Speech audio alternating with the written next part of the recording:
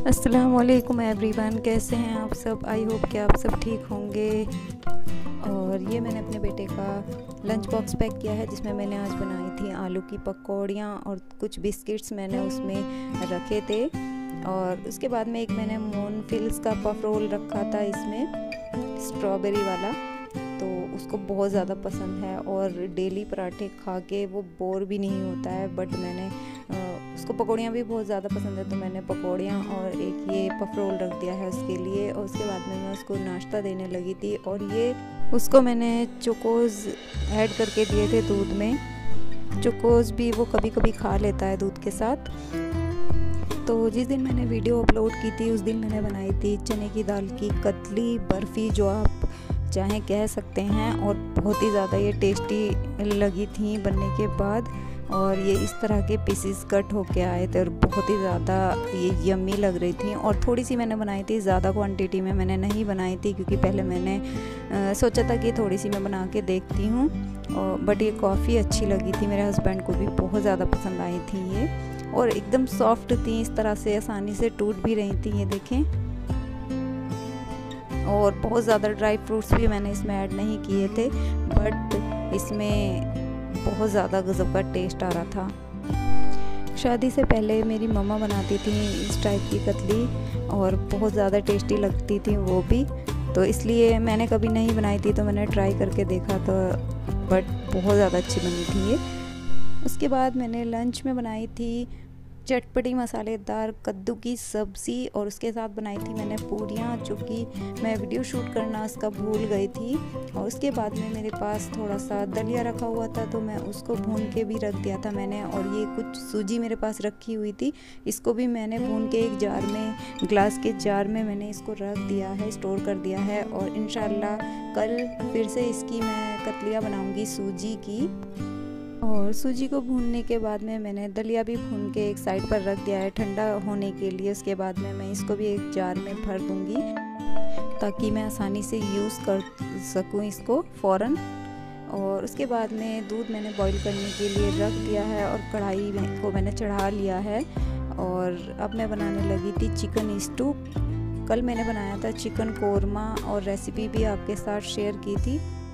और जितनी देर में मस्टर्ड ऑयल मेरा यहाँ पर अच्छे से पकेगा, उतनी देर में मैंने सैलड कट करके रख दी थी।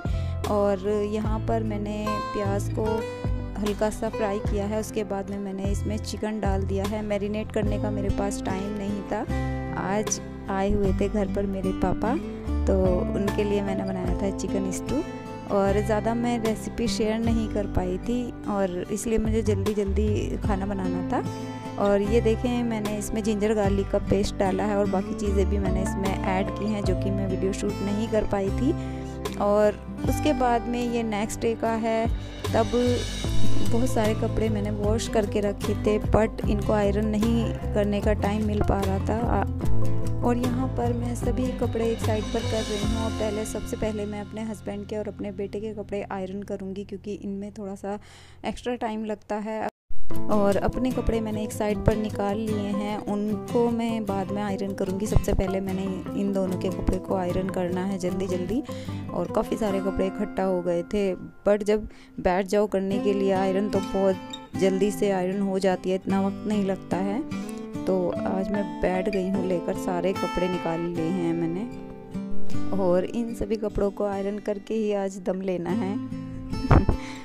और सबसे ज़्यादा टाइम लगता है शर्ट्स को प्रेस करने में और इन पर अच्छे से आयरन भी करनी होती है एक एक पार्ट्स पे और फिर इस तरह से ये स्लीव्स वगैरह पे भी अच्छे से आयरन करनी होती तो सबसे ज़्यादा मुझे बोर लगता है बोरिंग काम है ये सबसे ज़्यादा शर्ट्स को आयरन करना, उसमें सबसे ज़्यादा वक्त लगता है। और आयरन को पहले मैंने बहुत अच्छे से गर्म किया है क्योंकि क्योंकि शर्ट्स वगैरह या जेंट्स के जितने भी कपड़े होते हैं उन सभी पे बहुत ज़्यादा गर्म होनी चाहिए प्रेस आयरन को बहुत अच्छे से गर्म करके ही मैं करती हूँ इनके कपड़ों पर।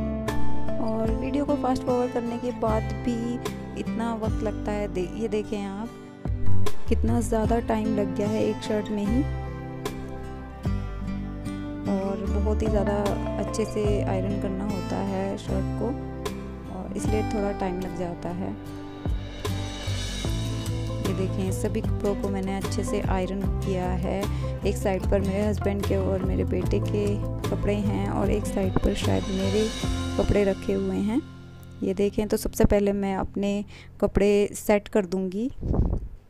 जो मेरे डेली वाले कपड़े हैं डेली यूज़ में जो आते हैं मेरे कपड़े, वो सभी मैंने सेट किए हैं। उसके बाद में मैंने अलग अलग सभी कपड़ों को डिवाइड कर दिया है और इस तरह से मैं कपड़े अपनी जगह पर सेट करती जा रही हूँ। और मैंने अपने हस्बैंड के भी कपड़े अच्छे से सेट कर दिए हैं। उसके बाद में नेक्स्ट डे हो गया था, मैंने बनाए थे सूजी की कतली। या बर्फ़ी जो भी आप कह सकते हैं, और ये सभी प्रिपरेशन मैंने करके रखी थी। सारे ड्राई फ्रूट्स मैंने कट करके रख दिए थे और अच्छे से साफ़ कर दिया था उनको। और इधर मैं चाशनी पका रही थी और मैंने कप से अच्छे से मेजर करके इसमें शुगर ऐड की है और अच्छे से बॉईल ले रही हूँ मैं इसमें, क्योंकि मुझे बनानी थी दो तार की चाशनी। एक तार उसमें पूरा आना चाहिए और एक तार उसमें हल्का सा दिखाई देगा। और ये सारी प्रिपरेशन मैंने करके रखी है और बस चाशनी बनने वाली है तो मेरे कत्ते सूजी के रेडी हैं। ये देखें, इस तरह से कट करके रखे थे इनको मैंने। ये देखें, इनका फाइनल लुक और ये बहुत ज़्यादा टेस्टी थे और सॉफ्ट भी थे। ऐसा नहीं है कि बहुत ज़्यादा ये सख्त थे। तो इनको मैंने किस तरह से जमाया था, ये देखें, मैंने पहले देसी घी प्लेट्स में या ट्रे में जो भी आपके पास कोई बड़ा इस तरह का बर्तन है, उसमें आप अच्छे से ग्रीस कर लेंगे और ये देखें, चाशनी मेरी ऑलमोस्ट रेडी है। ये देखें, दो तार की चाशनी इसमें मेरी, एक तार इसमें मोटा दिखाई दे रहा है और एक हल्का सा तार इसमें आया हुआ है। बस इसी तरह की हमें कंसिस्टेंसी चाहिए इसकी और वो परफेक्ट बनी है एकदम। और मैंने एक बड़ा सा बर्तन ले लिया है जिसमें इसको मुझे मिक्स करना है।